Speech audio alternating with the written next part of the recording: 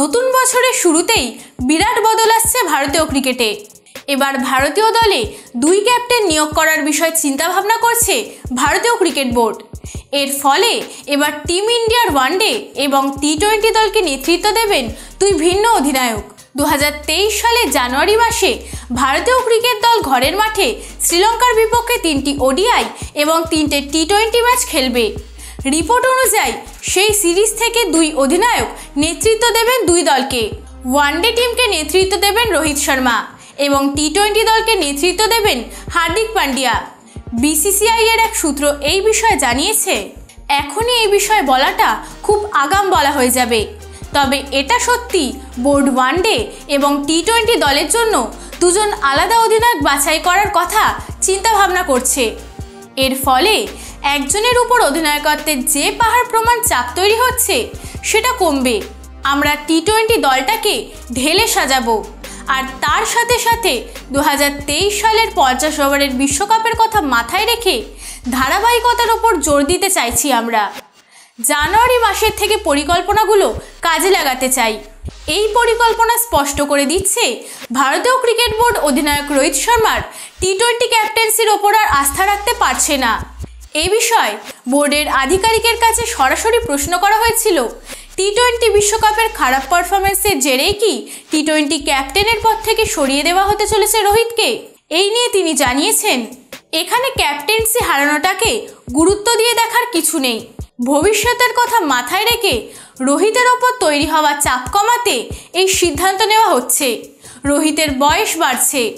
আমাদের T twenty দলে যুব শক্তির প্রয়োজন আছে।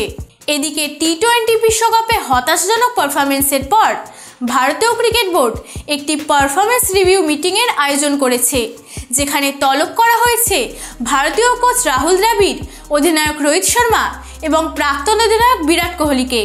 বিসিসিআই সেক্রেটারির পৌরোহিত্যে ভারতের বিধ্বস্ত টি টোয়েন্টি বিশ্বকাপ পারফরমেন্সের ময়নাতদন্ত করা হবে। ভারতীয় ক্রিকেট বোর্ডের সূত্রের দাবি, আমরা রোহিত, রাহুল, কোহলিকে মিটিংয়ে রেখেছি সেমিফাইনালে পারফরমেন্সের পর স্পষ্ট কিছু বদলের প্রয়োজন আছে। কিন্তু তাদের কোনো কথা শোনার আগে আমরা কোনো সিদ্ধান্ত নেব না। রোহিত রাহুল কোহলির পরামর্শ নেওয়া হবে এবং ভবিষ্যতে ভারতীয় দলের রূপরেখা কি হবে সেটা নিয়ে আলোচনা করা হবে। সূত্রের খবর অনুযায়ী, ভারতীয় ক্রিকেট দলের বর্তমান নির্বাচক চেতন শর্মার পারফরমেন্স নিয়েও খুশি নয় ভারতীয় ক্রিকেট বোর্ড। শোনা যাচ্ছে তাকেও দায়িত্ব থেকে মুক্ত করা হতে পারে। তবে মিটিংয়ে চেতনকে ডাকা হয়েছে কিনা সেটা স্পষ্ট নয়। দু সালে পরবর্তী টি টোয়েন্টি বিশ্বকাপ অনুষ্ঠিত হবে ওয়েস্ট ইন্ডিজ এবং আমেরিকা জুড়ে। সেই টি টোয়েন্টি বিশ্বকাপের দলে বয়স্ক ক্রিকেটারদের রাখার কোনো পরিকল্পনা নেই বিসিসিআইয়ের।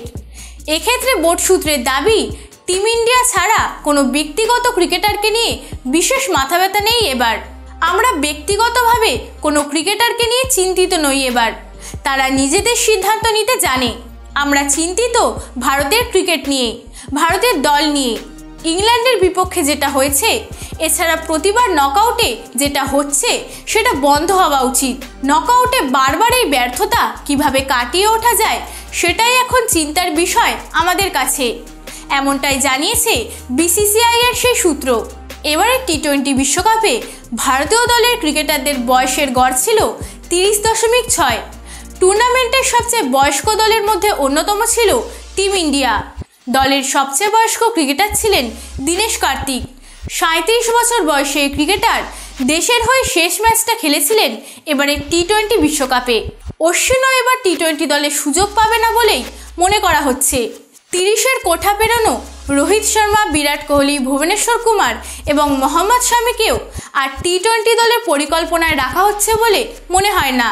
আগামী সপ্তাহে হার্দিক পান্ডিয়ার নেতৃত্বে নিউজিল্যান্ডে টি টোয়েন্টি সিরিজ খেলতে নামছে ভারতীয় ক্রিকেট দল। তাকেই পরবর্তী টি টোয়েন্টি অধিনায়ক হিসেবে দেখছে ভারতীয় ক্রিকেট বোর্ড।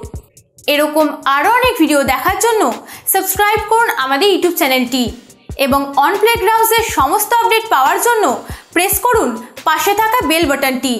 এবং এই ভিডিওটি যদি আপনি ফেসবুকে দেখে থাকেন, তাহলে অবশ্যই আমাদের ফেসবুক পেজটিকে লাইক করবেন। এবং ইনস্টাগ্রাম ও টুইটারে আমাদের ফলো করতে ভুলবেন না।